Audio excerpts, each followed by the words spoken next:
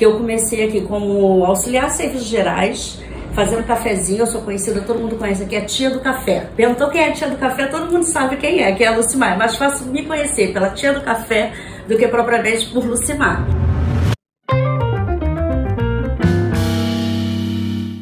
Eu chamo Lucimar, eu trabalho aqui na Casas Pedro, comecei em 2020 aqui. Eu, eu comecei em 2020 como SG, auxiliar de serviços gerais. E ano passado, por eu estudar administração, eu tive uma oportunidade de entrar para dentro do escritório que seria do setor financeiro na parte do CSC. Só que a minha história com a Casas Pedro não começa de agora. A minha história com a Casas Pedro começa muito tempo antes, porque eu já ia já na Tijuca com meu marido, a gente comprar bacalhau, porque lá em casa não se faz datas comemorativas nenhuma sem o tradicional bolinho, a salada de bacalhau e o nosso quiche de bacalhau que eu compro na Casas Pedro com os temperos.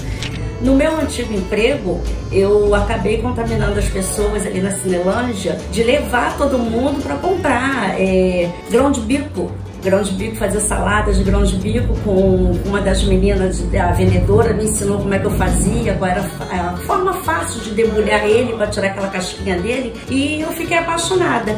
No sentido, eu digo por mim, que eu comecei aqui como auxiliar serviços gerais, fazendo cafezinho, eu sou conhecida, todo mundo conhece aqui, é tia do café. Perguntou quem é a tia do café, todo mundo sabe quem é, que é a Lucimar. É mais fácil me conhecer pela tia do café do que propriamente por Lucimar. Eu sou apaixonada pela Casa Arpedo pelo fato de que ela é uma empresa que ela valoriza os funcionários que ela tem dentro da casa. Ela primeiro procura resgatar o que, que ela tem dentro da casa. Quando ela não acha o que, que ela tem, ela faz cursos, ela tenta ajudar da melhor forma possível, como eu entrei ali no CSC sem saber nada. Até para mexer no computador, para mim, eu tinha dificuldade, porque esse negócio de mexer só no celular, você acaba perdendo a tática do, do computador.